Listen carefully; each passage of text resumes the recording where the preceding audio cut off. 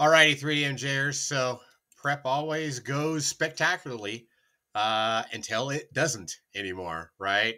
So my body's kind of wrecked, right? Um, it came to me kind of out of the blue.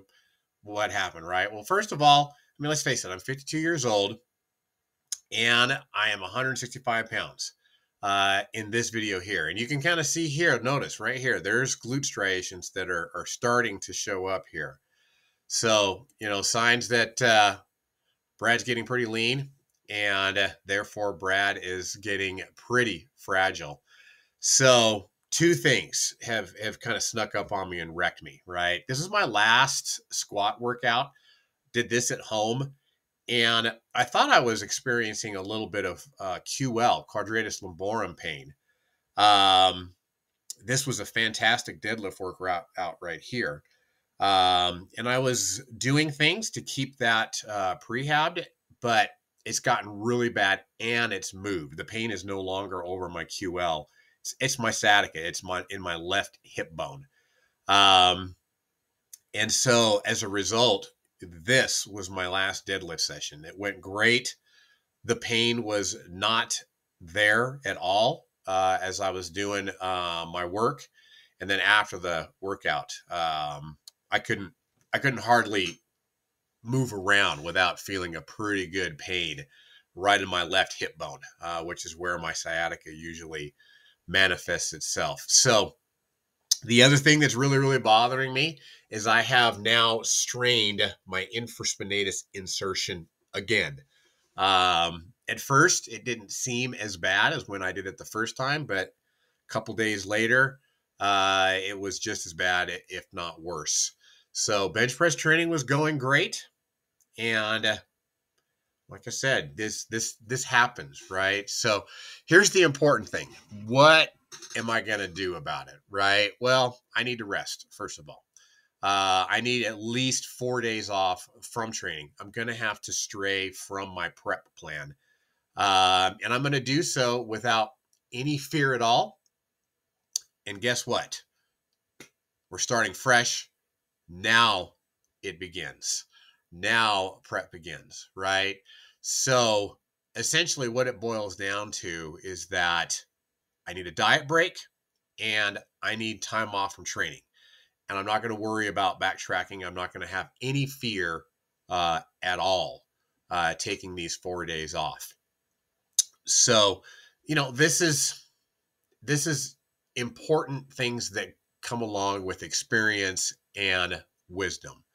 Um, prep has gone great up until this point. I've made fantastic progress and that is is not going to change i'm going to continue to do that once i let my body heal uh, and rest up so i'm going to rehab my shoulder just like i did before it went wonderful last time and i was back to heavy bench pressing in two weeks and i was back to training in a modified fashion in about four days so right now i am three days post injury, and I will probably start training again in two days. And if all goes according to plan, um, and the rehab works like it did last time, I will be able to bench press heavy again a week before the meet.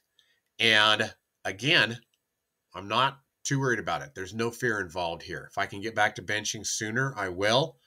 But I'm not going to lose my strength at all. Um, taking these four days off and not bench pressing, you know, for the next week or two weeks. The second thing I'm going to do is I'm going to diet break. And the way that I'm going to diet break is a little bit unique. I'm basically going to give myself free, unlimited amounts of raw vegetables and some fruits, specifically low calorie fruits like strawberries and blueberries and things like that. So I'm going to track everything like I normally do, track the big stuff. Uh, I'm going to hit my calories and my protein like I normally do, but I'm going to eat raw vegetables, carrots, mushrooms, uh, things like that, Brussels sprouts, Um, and then, of course, some raw fruits, low calorie raw fruits, strawberries, uh, and um, blueberries and things like that. And I'm not going to track them at all. I'm going to eat as much as I want. That's basically going to be my my diet break. The shoulder rehab, I've got it documented extensively. It's going to come out at some point um, through Team 3DMJ's content production.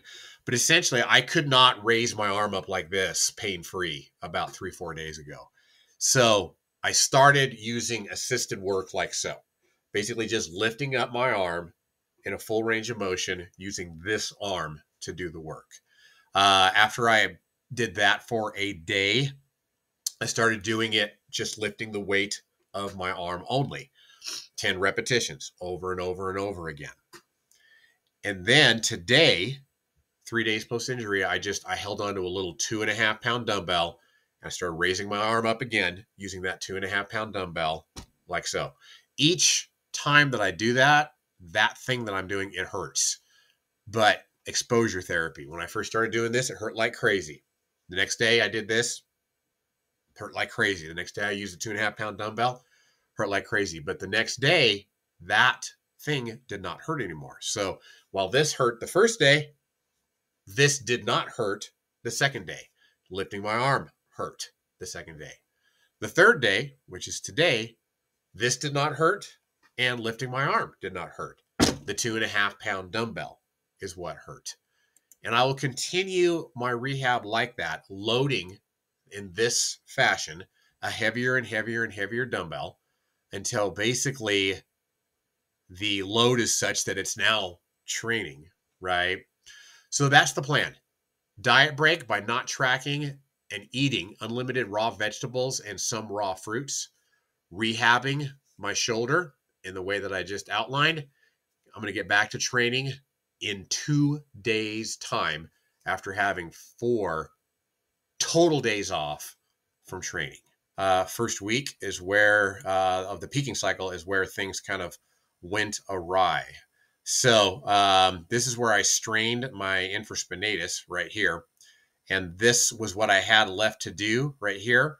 And I mean, basically, folks, I didn't get any of it done. Uh, took the day off. So again, am I worried about it? No. Um, I want to show up, compete at my meet, strong and healthy. Um, and that is really the only objective. Um, oops, I did get the bench done though. Let's put that back in there. So, um, yeah, this did not get done. Uh, the squat did not get done. And the machine laterals obviously didn't get done uh, since I killed my shoulder. None of that got done, right?